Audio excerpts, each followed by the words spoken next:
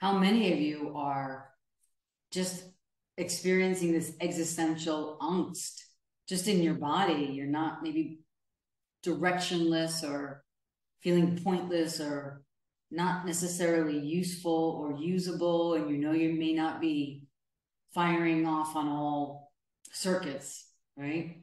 It might not be that there's something wrong with you. It may be that there's an emotional blockage or a mental clog or a spiritual um, release required or a physical change in the worldview or perspective about something that could just like open up the doorways. And just as I said that, there's a, a young lady that I'm working with that every single time there's five or six different people and different stories at the beginning of each session.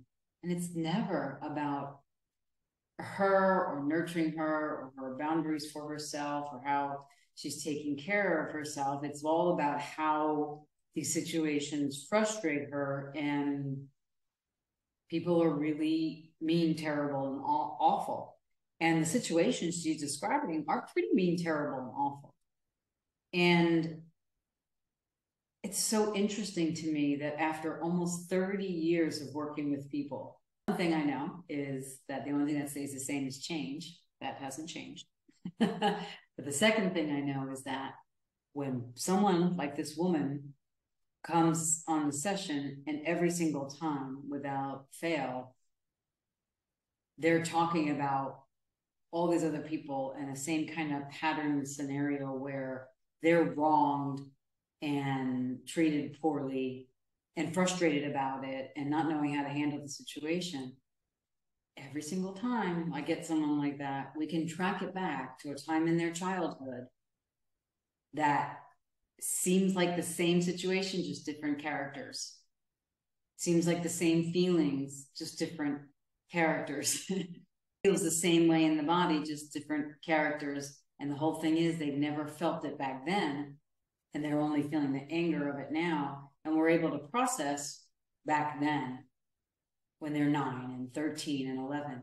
Again, this is not recapitulating the trauma. This is actually healing and changing at the root cause of the trauma, why they're so triggered in the present. These stories I'm telling you are not just to, for me to tell you about them for me and like, ooh, I'm, I'm the best it's a privilege to work with people and to be a part of their their journey if what you've listened to is something that you like please comment in the, in the comment section below i'd really love to hear from you and it gives me feedback about what we're doing and you could even give us feedback about what we're doing you know like i get a lot of thank you for this video or you know right on and that really helped. And I'm so grateful for that. I never thought of it that way. Those are wonderful comments. That and more, you know, even just pressing the like button is great or the thumbs up.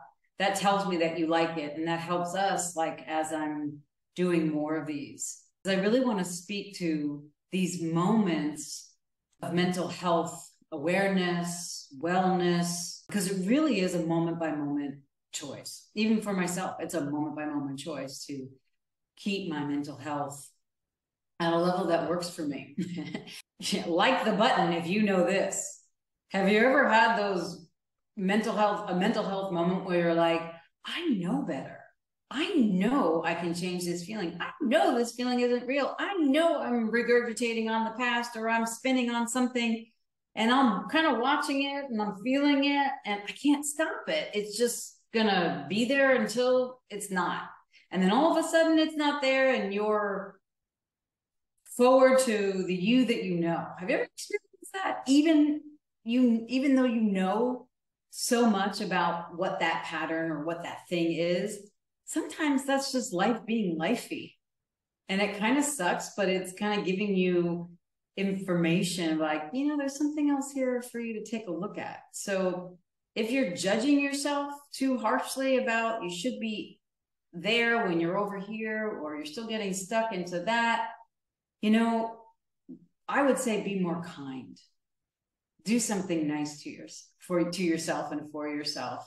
And if you are in those moments where you just can't like the sunlight of the spirit is just gone and you're just getting lower and lower and lower and lower don't know know where there's like a, a put my hand up like safe word be your own safe word okay and stop it and reach out for some mental health help contribution support and collaboration granted most people when they are listened to with two ears versus spoken to through their one mouth, when they're just received, but whatever they have going on, it takes a weight off of them.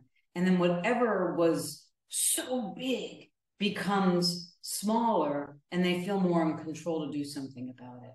So the best part about speaking out and seeking help and support is that you're not carrying it by yourself. I was just working with this new person today who we quantified that he was carrying about 3,500 energies, like other people's energies, that wasn't even related to him. And he was just kind of wearing it like a Halloween costume. Like he didn't come into the session saying, oh, Dr. Lisa, I know I'm 3,500. No, no, no, no.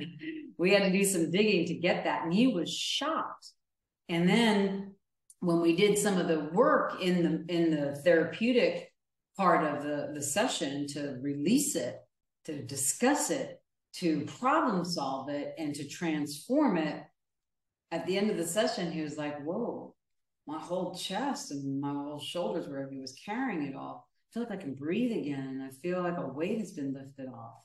That's transformation. That's healing. And that's simply just talking about what you have going on in that moment.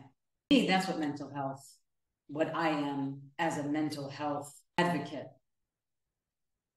That's what I do. I contribute to you taking the weight off of you, showing you what that weight was, and teaching you how not to carry that, whether it's a unconscious decision you made, a belief system you believe about yourself, and tragedy or a trauma that occurred that is really difficult to maneuver beyond.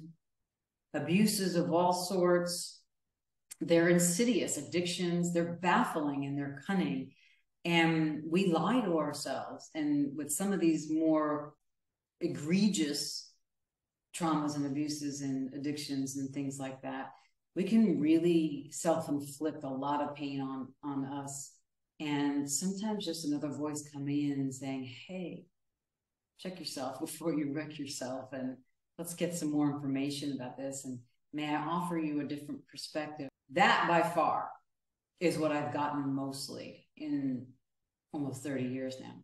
Dr lisa i can't believe i'm remembering this. I've never talked about it this gentleman i work not the one i've already talked about but this new gentleman another new gentleman that he couldn't make the couple session so i saw the wife and then I didn't want to go into couples without seeing the male first individually, just for fairness and equalness. So they can each have me on their side, not, oh, you had a session with my wife before I came in. Sometimes it could be a little difficult. So I had a session with him before I'm coming to meet them couples. And he was a little itchy scratchy at first. And he's like, I don't really talk about things. And uh, I know that what I create in my life is what I create in my life, and I just got to deal with it. And like just dead, nowhere to go. And I really just listened. I asked him questions, just general questions. And little by little, his philosophy and me understanding his philosophy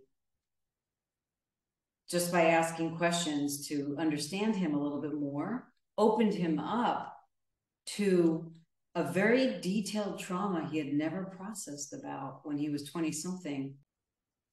And after that, and processing through some of that and and deepening into the vulnerability with me and me deepening into the vulnerability with him, he was like, wow, this was this was good. This surprised me. And I'm looking forward to uh, doing more. And it's more about the fact that he got to that place. That's what, to me, therapy is really about that you get to that space that says, yeah, there's something here that, that, that could help. my marriage, my life, and me. I'll see you next time. Thank you so much. Like, whoa, you know, and that's just about what is it? Connection, care. Yeah. I couldn't think of anything because that's really what it is. Like, you know, I think so many of us, well, actually, I have an interesting perspective that we all just want to be loved, adored, nurtured, cherished, honored, and respected. And if I just do that as I'm sitting here listening to you, you know, he literally said, Thank you for not judging me. I really felt that. I'm thinking to myself, yeah, judgment doesn't belong here. People go to therapy to get rid of their judgment. Can you imagine if they go to therapy and they're they're judged? Judgment doesn't work for healing. Long story short. So thumbs up, please. The like button, comment. Let me know that this is contributing to you, or if there's something you would like me to speak to in our mental health moment um, series that we're going to be doing on and off here. And remember to subscribe, share this, hit the bell uh, to know when I'm going live, and let me know what really hit you and what really struck you, and what what what you might what thoughts you want to share about it, and if if something you found useful came out of it, I would love to know.